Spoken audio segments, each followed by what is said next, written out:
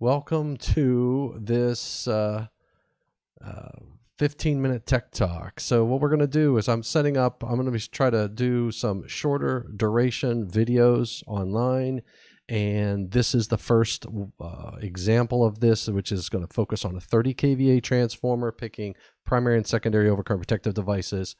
Uh, we're going to pick the primary and secondary uh, conductors from a uh, from an ampacity perspective, and we are going to do that with 15 minutes on the clock. So let's get to the PowerPoint.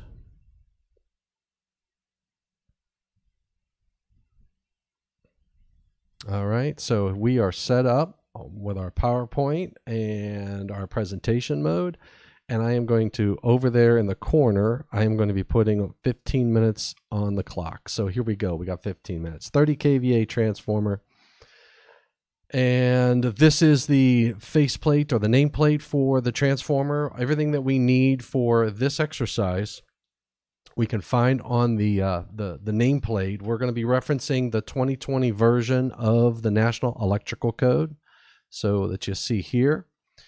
Um, so hopefully you have your your code book out. I'm going to do is I'll, I'll reference as many sections as I can, but again, I've got 14 minutes left, and we're going to select everything we need uh, for primary and secondary overcurrents and whatnot. So the first step we have to understand the kVA. We're going to be we know this is a 30 kVA transformer. we have got that off of the nameplate. I need to know my voltages. We're going to see why this is going to be important as we move forward in this example. So I know I have a 480 volt primary, 208 volt uh, secondary. It's a delta Y connection, 208 120 on the secondary. Uh, you'll be we'll just be focusing on the 480 volts phase to phase voltage on the primary and 208 volts on the secondary. Now, another important parameter that we'll find on the uh, nameplate is the percent impedance. Uh, in this case, it's 5.3%. You'll see where that's going to be important later on, very at the end of this uh, session, uh, when we start to understand available fault currents and interrupting ratings of overcurrent protective devices. All right, so this is our basic one-line diagram that we have. We have uh, a primary overcurrent protective device that's feeding the 30 kVA transformer. We're going to pick what size uh, uh, device that is. We're also going to select the um, the conductor size for the primary. Uh, we're going to do the same thing on the secondary. Now, I show a secondary main overcurrent protected device because it's very rare that you are going to have a main lug only panel on the secondary of that transformer. And the reason is because it's very difficult to prove and meet all of the code requirements uh, where you have the primary overcurrent protective device providing the protection not only for the conductors on the secondary, but also the panel board on the secondary. So there's some requirements in 408 that makes it very difficult uh, for a main lug only panel on the secondary of that uh, of that transformer. So this is the process. We're going to calculate the full load amps uh, for both primary and secondary. We're going to apply the multiplying factors from the National Electrical Code uh, to those secondary and primary full load amp values to help us pick the size overcurrent protective device that we need.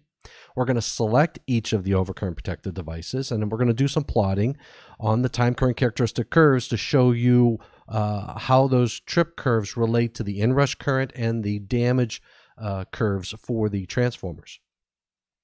We are also going to establish the conductor ampacity that's needed, and then we're going to select those conductors based upon the conditions of use. All right, so these are our, our equations that we're going to use. Uh, we're going to need, uh, we have, this is the single phase and three phase. So we can ignore the single phase because we already know we have a three phase transformer. So the equation we're going to be using for full load amps is uh, right there. And full load amps is KVA times the square root of 3 divided by 3 over kV. Now you've probably more familiar with seeing this equation as kVA over the square root of 3 divided by the kilovolts, because square root of 3 divided by square root of 3 is 1 over the square root of 3. I throw, I do a little bit more detail just so I don't make mistakes. All right, so if I want to calculate the full load amps on the secondary, I take the 30 kVA divided by 3 to get to a single phase kVA rating, divide that by the single phase voltage, which is uh, 0.208, which 208 volts divided by 1,000. Divide that by square root of 3, puts it in the numerator. I have 83.27 amps on the secondary for the full load amps of that transformer. The primary, I have two ways I can calculate this. I can either calculate it as with the equation that I'm showing on the screen up above, or I can simply reflect the secondary uh, current that we just that we just calculated, 83.3 amps times 208 divided by 480, and that'll give me the primary full load amps of 36.08. You figure out what's what works for you. As long as you come out with 36.08, or I round that to 36.1 amps, or 36 amps on the primary, then you um, you however you get there, you get there. So we've done step one. Now we've got to do step two. If I look at 450.3b, I'm I'm I'm going I'm I'm going to B because A uh, focuses on greater than a thousand volts. B focuses on thousand volts and less. Uh, so I know I'm in I'm in 450.3b, and I'm I've already noted that I'm going to be doing primary and secondary protection. And this tells me that my primary maximum overcurrent protective device on the primary is 250% of the full load amps. And on secondary, it's 125% of the full load amps. So I've got my two multiplying factors to make my life easy. There's a note three in there which talks about transformers equipped with coordinated thermal overload protection, blah, blah, blah. I've got a 30 kVA transformer. I can ignore note three. Don't have to worry about it. Now, if I do the math, 2.5 times 36.1 gives me 90.25. So my maximum size overcurrent protective device on the primary is going to be 90 amps. I, I can't go to the next, I can't go uh, any higher because of the way the language in 450.3b reads. I can't go higher than 90.25. So 90 amps is a standard ampere rating. Now, my minimum the minimum is really going to be driven based upon the inrush current on the transformer, but typically we don't go to 250 right off the bat. The only time I'm going to a 250% is if I have to selectively coordinate possibly through a transformer. Uh, in this case, I'm, uh, you know, I'm just going to pick, uh, I, I can go around 125%, which you would typically probably see a 45 amp uh, main overcurrent protective device uh, feeding this transformer. Uh, I think I plotted both of these, so I'll show you both a 45 and a 90. Now, uh, they they coincide with the standard ampere ratings that we find in table 240.6. We can't forget chapter 2 and 240 overcurrent protection requirements. All right, so this is the FD90, which is a primary overcurrent protected device, primary circuit breaker feeding this transformer. You'll notice the inrush current uh, is highlighted there. I am I'm not going to trip this breaker based upon inrush currents. And you see the damage curve, which is right there in the middle of that circuit breaker. This circuit breaker on the primary is there for short circuit protection of that transformer, and it does a pretty good job of it. Now, this is the 45 amp primary FD type breaker. You'll notice I still have clearance on that inrush current, so I'm not going to trip the breaker on inrush. I am a little bit closer. Uh, I feel comfortable with that inrush, uh, with that plot, and I provide very good adequate protection uh, for the damage curve of that transformer. So this is a fuse. Can't forget about the fuses. Uh, the the um, this is a 45 amp primary fuse. Again, I can go up to a 90 amp primary fuse. I did not plot that. Didn't see the need to do that. Um, there's my, and I have adequate protection of the transformer as well. And, and this is just a different type. This is an FRS class K5. Just just reminds us that different fuses will have different trip curves, and these are have an intended time delay involved. Uh, if I go to a fast acting type fuse, I may not live through that inrush current. So be mindful and select your fuses uh, properly. All right, so I've picked the primary overcurrent device. I'm, I can go a 90 or a 45 and, and anywhere in between. Uh, and we've already shown that. So that's part of my uh, issue, or part of the uh, job that we need to get done. We got six minutes and 20 seconds left. All right, so now we're on the secondary overcurrent protective device. Uh, based on 450.3b, I know I can be at least 1.25 times the secondary full load amps, which is 83.3 amps, which is 104 amps.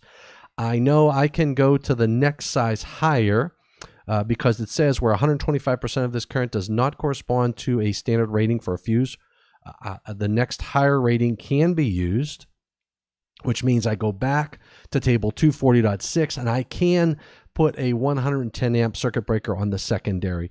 I elected in this example to simply use a 100 amp panel board and a 100 amp overcurrent protective device in that uh, in that panel. But again, be mindful that based upon that footnote, you could go up to 110. So, um, with if I plot the curves for primary and secondary, I have a 90 amp primary circuit breaker, I have a 100 amp secondary circuit breaker. These are their time current characteristic curves. I don't have to worry about which one will trip first because if I trip either the primary or secondary, both of them, uh, the same load is removed. So no worries about coordinating the main, the primary breaker with the secondary main. You will have to selectively coordinate if that's on your agenda, which I have another video on my channel which talks about selectively coordinating through a transformer. Not my job here. Four minutes and 54 seconds left. Uh, so this is the 45 amp uh, primary. So I've lowered the primary breaker. And again, you'll see overlap in the curves, but who cares, right? I take them both out. I take one out. Doesn't matter. I lose the same load. Uh, and, and that secondary breaker, which is the green one, doesn't have to worry about inrush current because that's on the primary. And these are my two fuses 45 amp TCF fuse and a 45 amp or a 100 amp secondary uh, secondary fuse. All right, so we've picked the primary and secondary circuit breakers and fuses, did both of those for you. And now we are looking at the conductors. So now we have to size the conductors. We can't forget about Article 240. 240 tells us how to properly protect do overcurrent protection for conductors. And you'll see, uh, and we're going to reference a special section in there for those secondary conductors, which are transformer secondary conductors. Those are not feeders, those are not service conductors, those are not branch circuits, those are transformer secondary conductors governed by 240. We're going to leverage 310.16 for the primary overcurrent protective device. So if we go to 310.16, this is um, we know that we have to, the ampacity has to be at least 90 amps. So we go to three table 310.16, and we know that uh, that would be a number three, which is good for 100 amps. I can't put a number four, which is 85 amps. I've got to stick with the, I can't go the next step higher. So I'm at 100 amps, and that's based on 240. Uh, I'm, I'm, I'm, I'm going to go at 100 amps to protect that 90, to protect that uh, conductor. Actually, yeah, Actually, I could go to an 85. I could go to a number four on the primary. So uh, I can go to the next higher. All right, so the conductor two, which is the secondary conductor. This these are transformer secondary conductors, not feeders. I have to leverage 310.16 again, which uh, again I have 100 amps. So I'm going to be at a number three conductor, and I've got to leverage 240.21c. And if we just look real quickly quickly at 240.21c, the title of that section is going to be Transformer Secondary Conductors. I said 240.21c. Uh, oh, I'm in 250. It helps to be in 240, not in 250, especially when you've got two minutes and 24 seconds left. All right, we're going to get this done. 240.21. C is transformer secondary conductors. Uh, a set of conductors feeding a single load or each set of conductors feeding separate loads shall be permitted to be connected to a transformer secondary without overcurrent protection at the secondary is specified C1 through C6 and you have to go through all of those and be mindful of all of those requirements. And um, so I'm not going to read those to you. That is left to the student so uh, over the secondary conductor is going to be that uh, I believe I picked a number two uh, number three. So number three or larger. All right, so now on that secondary conductor, I'm going to make sure my interrupting rings uh, on the secondary breakers and primary breakers. So the the primary side uh, overcurrent protective device, I can't base any of my information from an interrupting rating perspective on the transformer. I'm going to be uh, looking at what's upstream, how are those uh, how what's the length of the conductor, what are my source uh, fault currents, and and um, and how does that calculate down through the system? I, there's a lot of tools on the market. You can use things like SKM, EDSA, Easy Power. You could also use the Bussmann, uh, Eaton's Bussmann FC squared fault current calculator to estimate the amount of fault current at that uh, primary overcurrent protective device. On the secondary, I can leverage the infinite bus calculation. I could also model it using uh, my Eaton Bussmann FC squared uh, tool. Uh, so my full load amps uh, are uh, for the secondary to calculate the maximum amount of fault current you could possibly see on the secondary of a transformer. I take the primary full load amps, divide that by the percent impedance, which in this case is 5.3. Primary full or secondary full load amps is 83.3. Divide the 83.3 by 5.3. Multiply that by 100 because percent impedance divided by 100 gets you per unit impedance, which that's another topic for another day. Never going to be in 10 minutes or 15 minutes. And I know that the most fault current I can get on the secondary is 1,571 amps or 1,572 amps. My interrupting rating, any overcurrent protected device I pick on the secondary is going to be adequate. And we have completed selecting in 15 minutes. So hopefully that was helpful and you got something out of that one. And we did it in 15 minutes. All right, so that's my. This is my first layout with um, with this program, and um, let's take a look on YouTube. All right, so we are good to go. Uh, I've got an excellent connection. I appreciate you tuning in on YouTube and on possibly Facebook. I can't, I don't know if anybody's seen it on Facebook, but we got it done in my allotted time. And I'm going to sign off. So thanks for stopping in. That was a 15 minute tech talk on 30 kVA transformers. Hopefully you and you got something out of it. Please leave some comments. Don't forget to subscribe. I'm going to be doing more of these. I've already got a uh, 75 kVA transformer lined up and I got 112.5 kVA transformer lined up. If there's something that you want to see on transformers, let me know. I will make sure I include it. If there's some items you want me specifically to cover, please leave me some comments below. Don't forget to hit the thumbs up and uh, subscribe and click the bell so you get notified when I put more of these out on the system. So, thanks for tuning in. Thanks for spending time with me. Stay safe, stay healthy, and I will see you hopefully soon uh, with my new system here at the Technical Social Distancing Network.